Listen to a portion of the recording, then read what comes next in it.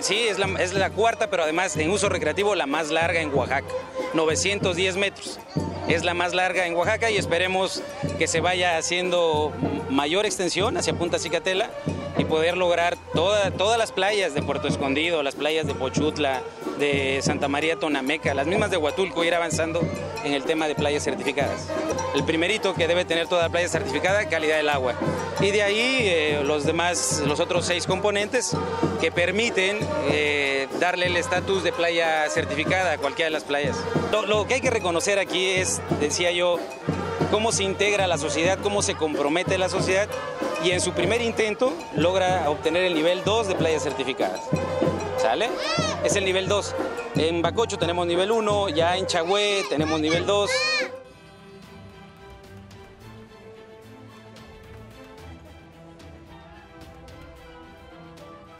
Estamos entregando una playa certificada. Esto es un trabajo de todos. Nuestros amigos restauranteros que preside mi amigo José Luis Ortiz Kirfield.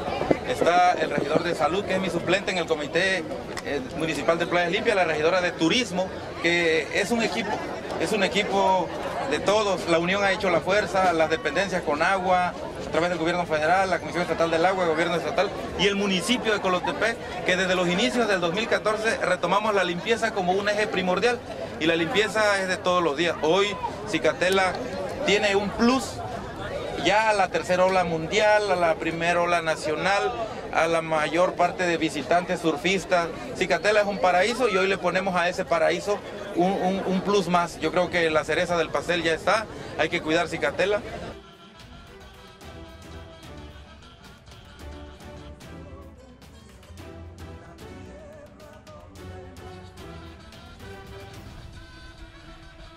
Eh, la certificación que se dio es nivel 2 en modalidad recreativa. Es una playa viva, es una playa abierta, una playa que tiene restaurantes, prestación de servicios y que está abierta las 24 horas del día.